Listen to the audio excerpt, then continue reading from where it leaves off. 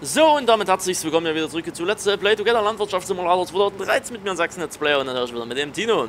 Grüßt euch Leute. Wir sollten vielleicht noch ein was in unserer Begrüßung mit aufnehmen, hier auf der MIG-Map, weil immer wieder nachgefragt wird, was das hier für eine Map ist. Steht aber Ja. oben Thumbnail drin, ganz auf groß und deutlich. Mac. Äh, Mick Mac. Mic Mac, Mic Mac. Ja, dem Big Mac. fahren wir nachher, fahren wir nachher zu McDonalds, wenn du schon Ja. mit Mic Mac bist. Also bei mir wird's, bei mir wird's nicht gefragt, bei mir, bei mir steht auf den Thumbnail gigantisch groß Mick Maps. Also, ne, bei mir Ja, steht... LS, äh, nee, LPT Mick Mac. Also, ja, nee, in der Beschreibung kann ich das leider nicht noch klatschen, die ist schon lang genug. Ja, Davon mal abgesehen. Ja, ich wurde gerade noch auf Tino, bis er mit seinem Kipper wieder hier ange, angerudelt ist. Den kannst du eigentlich dann gleich vorne, wo wir angefangen haben, Mach ich. hinstellen, weil da Mach durften wir ja eigentlich hinkommen mit dem Tank. ja, ja, da bin ich, da fahr ich sowieso gerade hin. Die Richtung hatte ich schon eingepeilt. So, naja, haben wir aber noch einiges zu tun hier, du. Meine Fresse. Natürlich Da haben wir kann hier. uns ja der Arsch nicht einrosten. Hier kann uns definitiv der Arsch nicht einrosten auf der Nee. Map. Nee, Und heute Abend auch nicht, denn heute Abend wird geknallt. im übertragenen Sinne. Ah. Ja, Also ich knall heute Abend auch und ich habe keine Böller. naja, egal. ja. So, Hm. Auf, drüber auch mal äh, gesprochen. ja, schön, dass wir mal drüber gesprochen haben. Was Alkohol auf Menschen macht, das wissen wir ja jetzt schon. Ja, Ja, genau. Randy hat mich jetzt schon ein paar Mal angedrungen. Aber ich muss sagen, ich bin ein angenehmer Kandidat, wenn ich angetrunken bin. Das äh, kommt noch dazu. Da gibt es ja die verschiedensten Charaktere. zum Beispiel Das- der, der nicht in seinen Drescher zurückkommt. Ja, danke. Ja, Nee, aber äh, wie gesagt, also das ist, da bleibt nicht jeder nett und freundlich, wenn er was getrunken hat. Das muss man einfach mal so sagen. Hab da schon die dollsten Sachen erlebt. die dollsten. Ja, ja. Aber ich bin dann eher immer der so, bin dann immer einer, der noch lustiger wird, noch äh, freundlicher wird und handzahm wird und ja. So. Zop. Ah, das Feld ist irgendwie cool. Ich weiß auch nicht, gefällt mir. Generell die? Felder hier so, dass ja alles so bunt durcheinander ist. Und nur so ein paar Grasstreifen dazwischen. Man muss immer aus die Einfahrt suchen. Das ist schon geil. Das läuft, das läuft. Ja, wie gesagt, So. heute knallen wir halt im übertragenen Sinne. Hm. Ah, hier hinten kommt er angedudelt. Dudel, dudelt. Da bist du noch gar nicht so weit. Kannst Ja, nee, warten. ich habe ja eigentlich auf dich gewartet. Jetzt muss ich bloß gerade mal gucken, ob ich hier das richtig ausgerechnet habe. Ach so, dass ich du sollte alle. vorne den. Ach, scheiße. Hm. Ja, da solltest du, das vorne solltest du eigentlich abstellen. Wohlbemerkt auf eigentlich. Jo. Bin ja gleich einmal rum. Ja, läuft. Kann ich da vorne abstellen. So. äh, Äh, das läuft aber nicht bei dir, oder? Nö, hab ich mich schon ein bisschen verkalkuliert. Na dann fahr du mal vorne weg. Was hältst du denn davon? Ist Eigentlich immer die bessere Ma Maßnahme vom Feldrand an. Zu fangen. Naja, gut, egal. Naja, wie gesagt. Ich hatte gedacht, ich lasse hier ein bisschen übrig, aber da hab ich das Schneidwerk doch ein bisschen zu groß eingeschätzt. Hm. Kannst du ja jetzt gerne korrigieren, während ich das jetzt hier nochmal ausflattere Densele. Äh, nochmal bitte. Was machst du jetzt? Ich flattere Dense das jetzt aus. Aha. Das Ja. klingt auf jeden Fall schon mal wie irgendeine Blumenart. Ja, Flatter, Flatteradenzchen oder so, weißt du? so auf Deutsch. Ja. Na gut. So. Ja, wie gesagt, äh, nur um endlich mal das Thema hier äh, wieder weiter anzubringen. Ja, wir knallen heute im, im übertragenen und Tino halt im nicht übertragenen Sinne. Kann man machen, wie wir wollen. Vielleicht hat sich in den letzten Tagen noch was getan und Tino steht jetzt doch hinter mir. Ich glaube zwar weniger dran, aber die Hoffnung, die Hoffnung stirbt ja zuletzt. Selbst Immer. stirbt sie. Immer.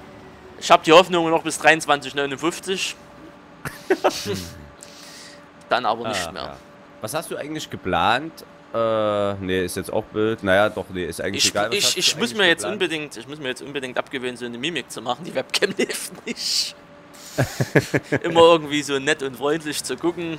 Ja, das ist so drei Tage Livestream, kriegst den Klatsche nachher. Denkst äh, du, du zeigst dich gerade.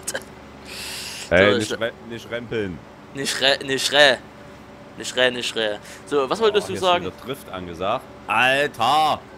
Ich hab voll eingelenkt. Ey, Tokyo Drift für Arme. Ja, scheinbar. Tokyo Drift für Mähdrescher. Ist ja genial. Was machst denn du? Naja, ich halt Abstand zu dir, bevor du wieder rüberziehst, wie so Ochse. Ja, ich hatte voll eingelenkt in die andere Richtung, falls es dir nicht aufgefallen ist. Nee, ist mir aus Zufall nicht aufgefallen. Außerdem fährst du bestimmt wieder langsamer wie ich. Ähm, Ich hab Tempo mal 2 drin. Ja, hatte ich auch. Also ich vor 14. Ja, ich fahr 16.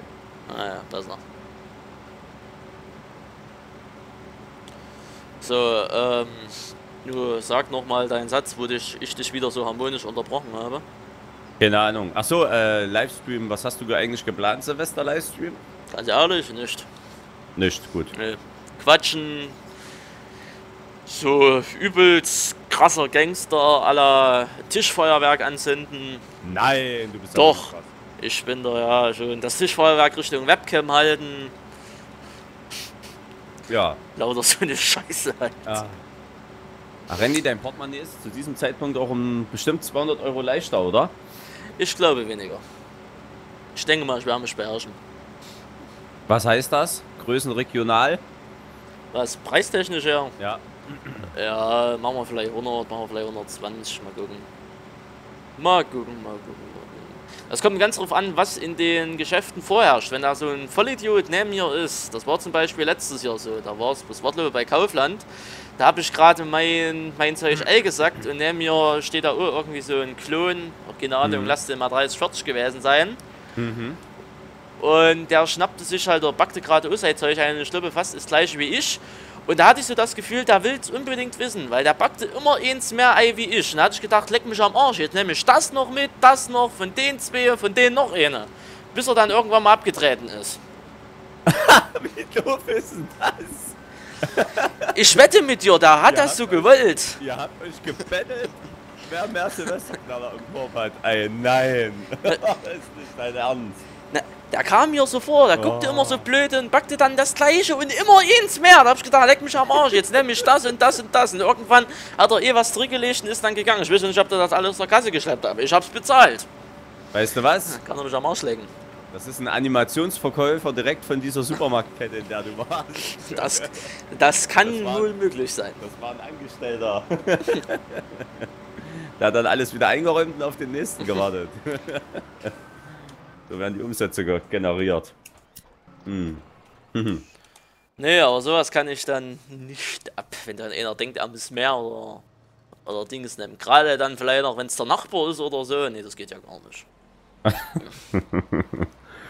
Ach, nee, herrlich. Nee, aber ich habe den Vorteil, dass ich der Einzige in dem gesamten Block bin, der für sowas überhaupt Geld ausgibt. Also von daher. Aber das ist eigentlich jedes Jahr schön. Jedes Jahr drüben beim Nachbarn, man so das ganze Jahr sagt man noch so Hallo und Grüße und Gott und Silvester wird man drüben eingeladen zum Saufen. Warum nicht? Das ist schon komisch, ne? Und nur mir ist es relativ egal, solange es kostenloses Bier gibt. Ja, naja, gut. Ist mir das relativ. So. Zumal sind das ja auch die Leute, die sich das Ganze dann angucken, sodass ich dann hinterher sagen kann, ja, es hat sich gelohnt, so viel auszugeben. Es wäre ja. Scheiße, es wäre ja scheiße, wenn ich alleine unten stehe und gucke mir das alleine an. Da würde ich mir auch dämlich vorkommen. Das stimmt, ja. Aber ich habe dieses Jahr sowieso das Problem, ich habe ja unten so drei Wiesen oder drei solche Vordinger, auf zwei sind glaube ich solche Waschdinger hier, weißt du was ich meine, solche Dinger, wo man seine Wäsche aufhängt. Ja, ja, ja. So, aus Wäscheleien. Wäscheleien aus Holz und ich werde mir glaube ich die linke Wiese nehmen. Das Problem ist aber, dass ich dieses Jahr scheinbar haufenweise, Müsste auch abgetankt werden. ja ja, ich weiß, kommt gleich, dass ich dieses Jahr haufenweise solche, ach warte mal, ich habe ja die Werbung hier vor mir, ich weiß gar nicht, wie sich das schimpft. Voilà, warte. Mit einer Hand fahren, mit einer Hand steuern. Ich habe jetzt gerade Aldi offen. Ich habe Das ist ja solche, Privatgelände hier. ja genau. Ich habe irgendwo, ich, äh, äh, irgendwo, warte mal, das ist, ja scheiße, das ist Kaufland. Warte mal, Rewe? Ich glaube Rewe war es. Na! Scheiße, was mache ich denn? Ich glaube, ich sollte doch erstmal mit dir bis zwei Händen fahren und dann gucke ich mal. Irgendwo. Rewe hat wieder diesen ekelhaften Monster Energy im Angebot. Wer säuft denn die Blöre? Na, ich weiß auch nicht. Ja, Cobra säuft das Blöre, seitdem Call of Duty drauf ist. Ja. Ah, Friedel. Also so. Also ich trinke, ich kann gar nicht ran. Mach mal nach unten. Oder geht gar nicht weiter? Warte, warte, warte. Ne, ist Max. Ist Max. ja. läuft bei. Ähm. So. da ist er wieder. Jetzt gucke ich gerade mal. Ne, warte mal, das war es nicht. War es Aldi oder war es Netto? Ich glaube, dann war es Netto. Ich habe doch jetzt Aldi. Ich habe doch jetzt schon alle durch, Mensch, Leute. Das sind solche, ähm. Verdammt, nochmal. Solche K. Irgendwas mit K. Äh, Fächer. Fächer, genau. Solche. Solche äh, Dings hier. Solche Fächer. Batterien, sprich, die schießen in. In, glaube 45 Grad Winkel nach oben. Oh nach links und rechts. Und da werde ich wohl dieses Jahr so das kleine Problem haben, weil immer, ich mache das zwischen den zwei Blöcken, also zwischen meinem Block und dem Nachbarblock. Ja. Die stehen sich gegenüber und ich glaube, der Winkel zu der Wiese habe ich schon mal geguckt, das könnten keine 45 Grad sein. Nee. Nicht, dass es dann oben im fünften Stock bei irgendeinem mal Grabums, Grabums macht und bunt wird. Deswegen muss ich das dieses Jahr ein bisschen anders stellen, beziehungsweise mal für, für die Quere, beziehungsweise für die Länge, dass das halt woanders hinschießt, aber nicht auf die zwei Blöcke zu. Ja, das wäre auf jeden Fall schlecht, wenn es umlaufend am Fenster klopft. Ich meine, vor zwei Jahren ist mir das mal passiert, ich, aber Gott sei Dank nicht bei so einer großen, oder bei so einer kleinen, die ist halt beim Zünden, ist die halt einfach umgefallen. Ja. Die hatte halt keinen Boden oder, oder irgendwas. Ja, da hat sie mal so im Hauseingang so Klatsch und Raderadatsch gemacht. Ja, da bist du mal nach links und rechts geächtet, wenn das Gelumpe angeflogen kam. Es war aber unlustig, aber abkriegen würde ich die Dinger auch gern. Ne, die werden heiß. Die werden sehr heiß. Das war schon mal eine lustige Sache. Nee, nee, das, waren, das war so eine richtig kleine, die aber ich glaube, das war so eine kleine mit 36 mm Kaliber aber. Und ja. die Dinger sind zwar klein, rumsen aber wie Sau und wenn die nicht richtig fest auf dem Boden stehen, die fallen schnell mal um. Bei den großen 500 Kilo, äh 500 Kilo, 500 Gramm Batterien, wo 500 ja. Schusspulver drin ist, da passiert das eher weniger, weil diese, die wiegen ja alleine schon 3 Kilo nur von der ja, Verpackung die her. Stehen, wo sie stehen, ja. Die stehen, wo sie stehen. Hammer Bums. Und ich sage mal, an den Batterien oder an Silvester ist eigentlich nicht, die Effekte sind natürlich auch wichtig, aber die Lautstärke ist immer besonders wichtig. es muss knallen, es muss einfach knallen. Ah, da habe ich auch einen Kumpel, da legt da sehr viel Wert drauf, äh, auf die Lautstärke. die neuen hier, die, die stinknormalen China-Böller D, die sind eigentlich deshalb für den Arsch. Wenn du dann Vico Kanonenschläge oder deutsche Kanonenschläge oder Sachsenknaller, die es ja auch gibt, die Dinger, die sind ja wenigstens noch laut, aber da kosten nur drei Stück 2 Euro. Ja. Oder diese kubanischen Kanonenschläge, die sind auch nicht verkehrt, die rumsen auch wie, wie nicht. Aber ansonsten kann ich immer nur noch La Bombas empfehlen. Lasst euch halt bloß nicht erwischen. Ja. Also ebenfalls beim Kauf nicht erwischen lassen, beim Rüber. Ansonsten, wenn ihr die hier zündet, ist scheißegal, kann ja keiner nachweisen. Ah, das sind so wirklich die heftigsten. La Bombas, ja. Ich ja. weiß zwar nicht, was sie da alles mit reinstoppen. Ja, wahrscheinlich alles, aber ja. zu empfehlen ist es auf jeden Fall nicht. Zu empfehlen, ganz klar sagen. zu empfehlen ist es nicht, wenn man es ordnungsgemäß verwendet, kann es wohl nicht passieren, aber die La Bomba sollte man nicht in der Folie zünden. Nee, definitiv nicht. Sollte man ja eigentlich bei solchen stinknormalen China-Böllern auch nicht machen, bloß die haben ja eine Zündschnur wie, wie Erich, also ja. keine Ahnung, da kannst du noch nebenbei auch der Sack juckt, da kannst du schnell am Sack kratzen, dann kannst du die Dinger wegschmeißen. Da zünden die nicht. Die haben ja, wenn die dann abgebrannt sind, haben die da drinnen nochmal drei, vier Sekunden, wie die brauchen und dann knallen die erst einmal. Ja. Bei den La Bombas, bei den La Bombas, wenn die abgezündet sind, dann knallt es gleich. Und da haben die nochmal so eine Zündschnur, die gerade mal zwei Zentimeter lang ist. Ja. Deswegen sollte man halt gefährlich, aufpassen. Gefährlich, Jo. Aber die knallen halt. Die knallen. Das stimmt. So. Zack, zack, zack.